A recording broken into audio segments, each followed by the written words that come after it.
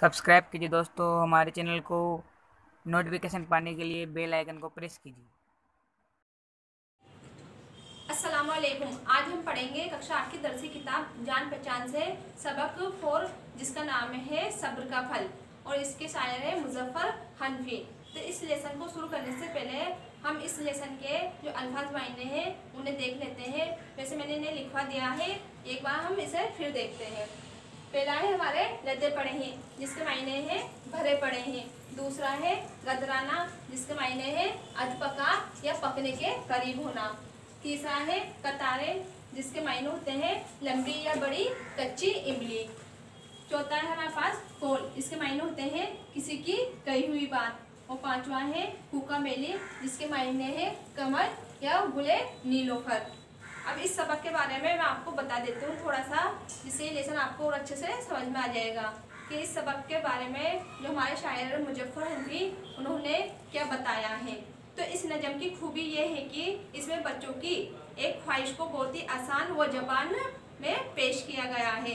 ख्वाहिश का मतलब होता है चाहत या इच्छा, और आसान जबान का मतलब होता है सरल जबान में इसको पेश किया गया है, यानी कि इसको बताया गया है। यानी कि हमारे शायर ने जो बच्चों की जो ख्वाहिश होती है, उनकी जो फीलिंग होती है, उन्हें ही बहुत ही साधारण तरीके से बताया गया है कि बाग में फल देखकर उसे खाने की ख्वाहिश होना फितरी बात है। यानी कि नॉर्मल बात होती है कि हम किसी बाग में गए, वहाँ पर फल लगे हुए हैं तो उसे खाने की इच्छा होना एक बहुत ही नॉर्मल बात होती है। लेकिन बाग अगर किसी और का है तो हमें उस बाग के फल तोड़ने का कोई हक नहीं होता। मतलब हमें चोरी करने का कोई हक नहीं होता, अगर वो किसी और का बाग है तो हम उसके फल नहीं तोड़ सकते। तब हम इस सबक को जो है वो शुरू करते हैं, जिसका नाम है सब्र का फल। अमरूदों पर लदे पड़े हैं, गदराए फल हफ़्ते भर से। जब मौका दावत देता हो, बंदा क्यों खाने को तरसे? क्या कहते हो, भाईजान? तो इस सबक में, इस बंद में जो है हमारे शायर मुजफ्फर हनफी, वो क्या कह रहे हैं?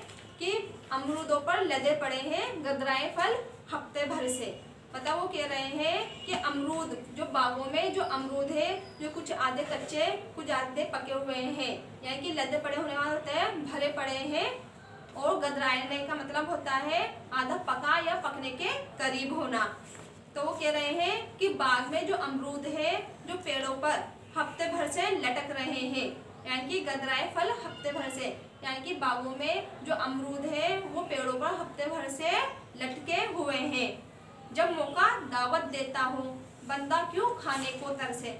और जब मौका इनको खाने का हो, यानी कि जब मौका दावत देता हो मतलब जब मौका इनको खाने का हो तो बंदा क्यों खाने को तरसे? तो फिर ऐसे मौके से क्यों ना फ़ायदा उठाया जाए? क्या कहते हो भाईजान? तो भाईजान, अब इसमें आपका क्या ख्याल है? ये हमारा एक बंद हो गया। अब हमारा दूसरा बंद है इमली की नीची डाली पर। झूल रहे हैं पाँच कतारे। खरबूजों की मीठी खुशबू। चीख रही है आरे आरे। क्या कहते हो भाईजान? तो इस बंद में जो हमारे शायर है, मुजफ्फर हनफी वो बच्चों के एहसास का इजहार कर रहे हैं। मतलब उनकी फीलिंग को बता रहे हैं कि इमली की नीचे डाली पर झूल रही है पाँच कतारे। कि इमली के दरख्त की नीचे डाल पर, यानी कि इमली के नीचे डाल पर, यानी कि इमली के दरख्त की नीचे डाल पर बड़ी बड़ी कच्ची इमलियाँ लटक रही है, झूल रही है। पाँच कतारे का मतलब कतार का मतलब होता है लंबी या बड़ी कच्ची इमलियाँ। जो बड़ी बड़ी कच्ची इमलियाँ हैं, वो लटक रही हैं। खरबूजों की मीठी खुशबू और खरबूजों की जो मीठी मीठी और भीनी भीनी खुशबू है, चीख रही है आरे आरे तो वो खुशबू है जो पुकार पुकार पुकार कर कह रही है कि आओ आओ। तो क्या कहते हो, भाईजान? तो फिर ऐसे मौके से फ़ायदा उठाने में भाई आपका क्या ख्याल है? ठीक है? अब हम पढ़ते हैं आगे का। अपना रास्ता देख रहे हैं, आठ शरीफे आँखें फाड़े। इस छोटे तालाब के अंदर कुका बेली और सिंघाड़े। क्या कहते हो, भाईजान? तो इस बंद में जो शायर है, वो कह रहे हैं कि शरीफों आठ अपना रास्ता देख रहे हैं। आठ शरीफे आँखें फाड़े। यानी कि शरीफों के दरख्तों में जो आठ शरीफे पके हुए हैं। शरीफों का मतलब सब जानते हो, जिन्हें हम सीताफल के नाम से भी जानते हैं। तो यहाँ पर जो शरीफे है, वो सीताफल से ही है, यहाँ पर उनसे मुराद। तो शरीफों के दरख्तों में जो आठ शरीफे हैं, जो पके हैं, वो अपना रास्ता देख रहे हैं। कि कोई अगर इनका इस्तेमाल करे, यानी कोई इनको, यानी इनको तोड़े। इसी तरह इस छोटे तालाब के अंदर कुका, पेली और सिंगाड़े, और इसी तरह जो छोटे से तालाब के अंदर भी कंवल और नीलोफर के जो फूल खिले हुए हैं, कुका बेली और सिंगाड़े। और सिंगाड़ों की फ़सल तैयार है किसमें? छोटे तालाब के अंदर। तो क्या कहते हो, भाईजान? और ये सब हमारी राह देख रहे हैं। कि हम इनका इस्तेमाल करें, यानी कि इनको तोड़ें। तो भाईजान, इस बारे में आपका क्या ख्याल है? अब हमारा लास्ट है। हम भी हाथ बढ़ा सकते हैं। आगे देखें क्या होता है। कोल मगर सच्चा है, ये भी सब्र का फल मीठा होता है। क्या कहते हो भाईजान?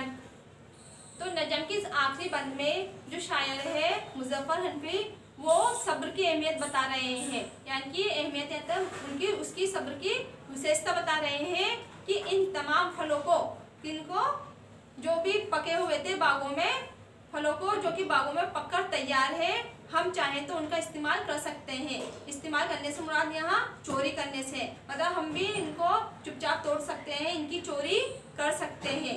यानी कि हम भी हाथ बढ़ा सकते हैं से मुराद चोरी करने से है कि हम भी इन फलों को तोड़ सकते हैं, इनकी चोरी कर सकते हैं। आगे देखें क्या होता है। फिर आगे जो भी होगा, वो देखा जाएगा। कौन मगर सच्चा है, ये भी सब्र का फल मीठा होता है। मगर ये बात बिल्कुल सच्ची है कि सब्र करना चाहिए, क्योंकि सब्र का फल बड़ा ही मीठा होता है। क्या कहते हो भाईजान? अब इस बारे में भाईजान आपका जो ख्याल हो, वो बताइए। यह हमारा जो लेसन था, वो पूरा हो गया है और इसमें जो मुजफ्फर हनफी है, उन्होंने सब्र के बारे में ही बताया है, खास करके कि सब्र का फल मीठा होता है, यानी जल्दबाजी से नुकसान हो सकता है, यानी जल्दबाजी में हम जो भी काम करेंगे, उसमें नुकसान ही उठाना पड़ेगा और सब्र करेंगे तो उसका जो नतीजा है, उसका जो रिज़ल्ट है, वो अच्छा ही आएगा। इसके क्वेश्चन आंसर आपको करने हैं, हमारा लेसन समाप्त हो चुका है और मुझे सेंड करना है। और अगर जो समझ में आए तो वो आप मुझसे पूछ सकते हो।